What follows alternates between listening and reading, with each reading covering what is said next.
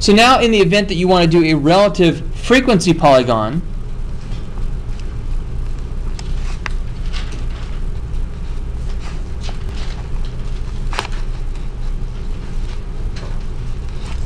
you're going to want to do the following. You're still going to need a vertical axis and a horizontal axis, but this time you're using class midpoints for your x-axis.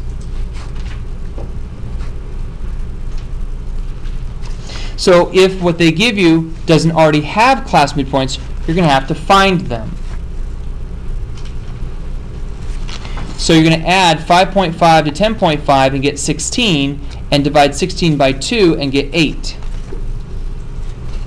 Then since the class width is 5, you're going to add 5 to 8, and you're going to get 13. Add 5 again, and you're going to get 18. Add 5 again and get 23. Add 5 again, 28, 33, and 38. These are the values that you use for your x-axis. So here is 8, making sure that this distance from the corner to that first tick mark is longer than the distance from this tick mark to the next tick mark. So that's going to be 13, and that's going to be 18, that's 23, 28,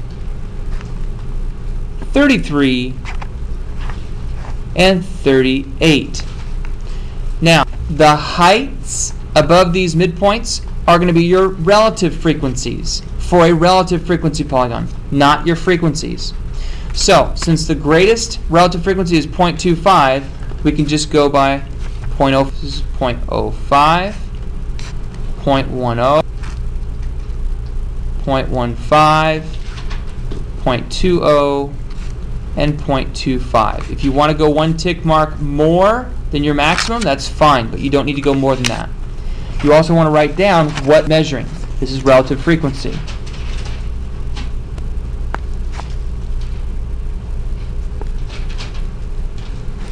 Okay? By doing these four items, you just got your first four points for this graph.